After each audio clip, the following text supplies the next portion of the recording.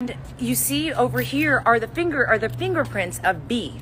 Are we so funny right now? Oh my god, I'm oh, fangirling. She's this. This has been her day. Okay, hold on. So where are the fingerprints? So I see them right here. You got several fingerprints here. Right here is a good one. Don't touch it. I'm not. I'm not touching it. Right here. Oh my You have to like put it at angles. I know, but do you have light? How do we do it? There. I think it's better without the light. I think there. it's yeah, you're right there. Do you see it? right there. Oh, oh right there. Yeah. There you right go.